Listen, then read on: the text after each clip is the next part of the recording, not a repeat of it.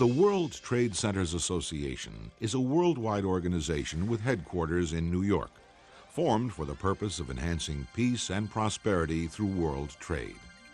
It has exclusive worldwide right to grant the use of the name World Trade Center.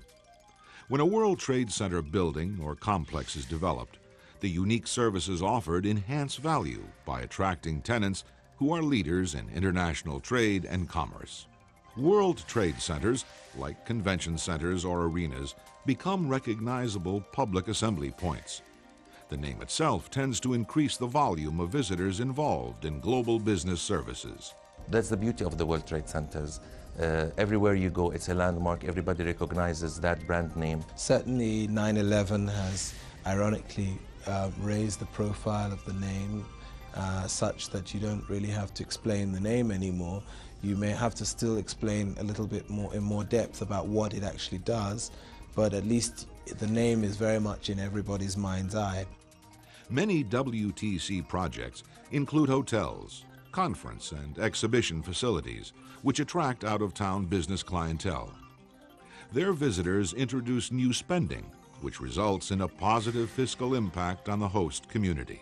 Because of scale, government sponsorship, or both, WTCs can dramatically increase the value of adjacent real estate, especially in areas where the WTCs have acted as urban pioneers. Governments, as well as private sector firms, frequently endorse WTC projects and use the facility to concentrate and consolidate agencies and services.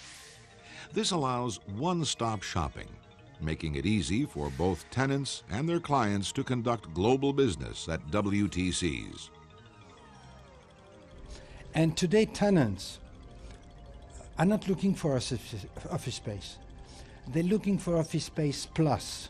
They want the services. I mean, they want the connectivity. You, you have to have state-of-the-art building to uh, be able to compete in the, in the uh, office building market. In cases where facilities have been developed, the WTC name can enhance rental rates and occupancy levels. In many cases, the facilities outperform the market as a whole. And in all instances, the WTCs are among the highest identity projects in the local marketplace. Every day, we are contacting our colleagues worldwide. Each World Trade Center is unique, but one of its strengths is the strengths of all the other World Trade Centers around the world. What makes us so special is that we know people who know people everywhere. People all over the world are finding new ideas, new products, new partners. The World Trade Centers Association is bringing people together in a global economy. A World Trade Center is a physical facility with a purpose, a very specific purpose, and that is to create a marketplace for those people who engage in international business or servicing international business. The World Trade Centers Association is a non-political, not-for-profit, private organization dedicated to encouraging the development of successful World Trade Centers. With its global mission and membership, the WTCA has been a world leader in creating innovative service for international business. In nearly 300 cities and 90 countries, World Trade Centers serve more than 750,000 companies worldwide. Each year, World Trade Centers directly enable billions of dollars in trade. World Trade Centers immediately connect you with knowledgeable trade professionals who know their region's business opportunities better than anyone else.